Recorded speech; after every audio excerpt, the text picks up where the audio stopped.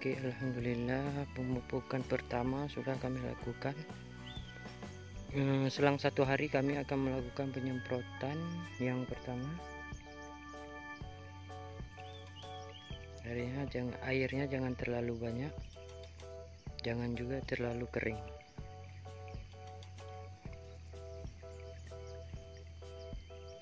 Semua supaya pupuknya mudah uh, cair dia Rencana besok kami akan melakukan penyemprotan anakan padi atau tunas